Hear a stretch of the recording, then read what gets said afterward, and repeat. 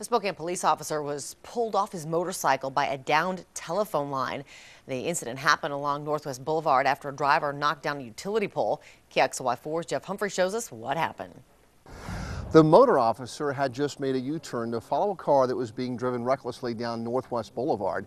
That's when the car knocked down this utility pole and brought down a telephone line that wrapped around the officer's neck. She hit the pole, he was catching up to her.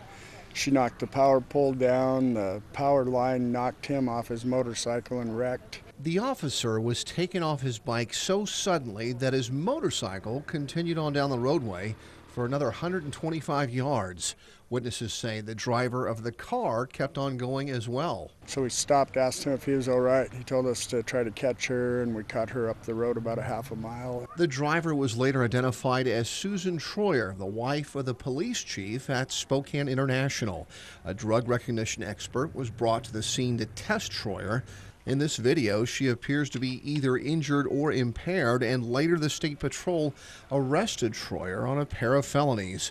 The officer was taken by ambulance to the hospital, but not before investigators took these photos of where that telephone line had either burned or cut his neck. It's absolutely amazing that the officer was able to get up and walk and talk after the collision. Uh, talking to some of the medics on scene, they were just absolutely surprised that he didn't suffer more injuries. It certainly could have ended his life right there. The driver is insisting that her brakes had failed and that's why she wasn't able to stay here at the scene of the collision. And so now investigators will be inspecting her vehicle to see if a mechanical problem is a plausible explanation for what happened here. Reporting in Northwest Spokane, Jeff Humphrey, KXLY 4.